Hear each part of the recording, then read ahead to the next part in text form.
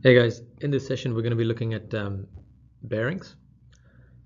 Okay, so to understand bearings, um, I want you guys to imagine a compass like this. And basically what it means is that when you face north, it's considered zero degrees.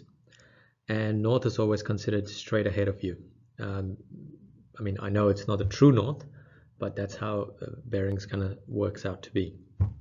So say if we have um, an angle like this, uh, and if we want to find out what the bearing for this angle is, what the, what the bearing is actually, what we need to do is if we move the compass onto the, um, the angle itself, we can see that it this is, so we're starting from 0, so 10, 20, 30, 40, 50, 90, and all the way to 140. So this one has a bearing of 140 degrees.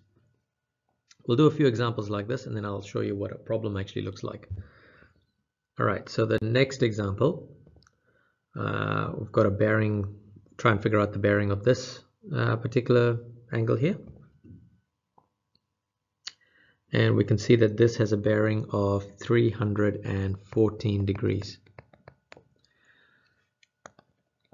Okay, so let's do one more, one more example. Now in this one, we're going to work with an acute, acute angle. But so when we put this, we're going to go from zero and we can see that it's actually 40, 40 degrees. But we don't actually write this as a bearing of 40. We write it with three digits. So we actually write this as 04, 040 degrees. So that's just to start off with.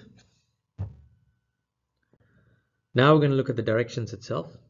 So say for example we have a direction north, then we know that that's that has a bearing of 0, 0, 0. Northeast, so northeast is actually here, uh, so that's going to be uh, 045. East is at 090. And then we have southeast, which is going to be 135 south which is 180 southwest is going to be 225 uh, we've got west which is going to be 270 and we have northwest which is going to be uh, 315 degrees Okay, so if we're talking about directions, those are the bearings that we are talking about. So if we're looking at, say, someone says, oh, we're going in the direction of south, then that means they're going at the bearing of um, 180 degrees. Okay, let's have a look at a couple of problems and see how bearings come into play. All right, what you'll notice is that I've actually, in this um, slide, I've actually asked you to find the bearing of A from B and bearing of B from A. All right, so what I'm going to do is first off, uh, I'm going to split this up into two things. All right, I'm going to do A, bearing of A from B. Now, if it says bearing of A from B, uh, what that means is that we've got A there and we've got B there. So we're, because it's saying from B, so we're going to put north here at B and we're actually looking for the bearing going this way right? But if we look at bearing of B from A then A is going to be there B is going to be there. But because it's from A our north is going to be here and the bearing is going to look like that. All right? So I'd like you to see the two differences so now what I'm going to do is I'm gonna actually going to work out the angles. Uh, I'm going to create a little right angle triangle here.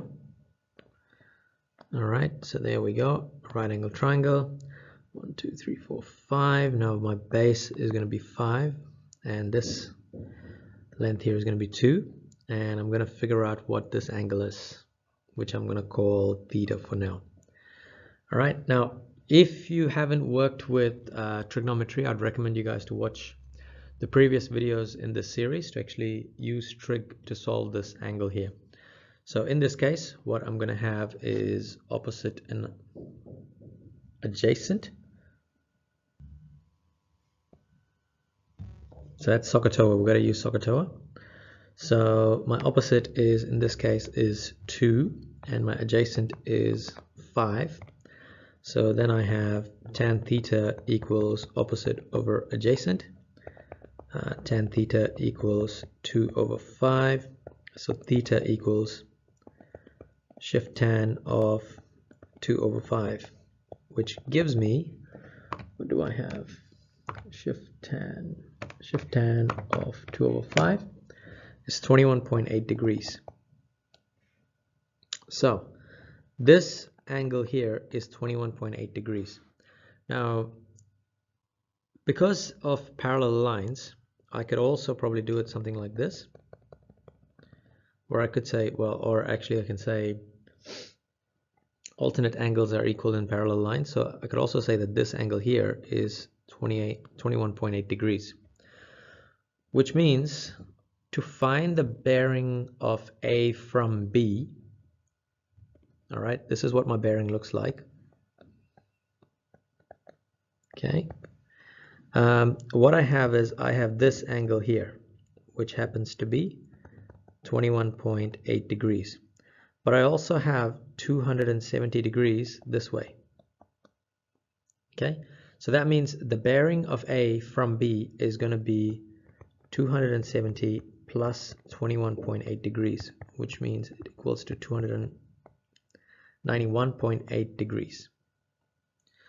But if I look at bearing of B from A, then this is what it looks like.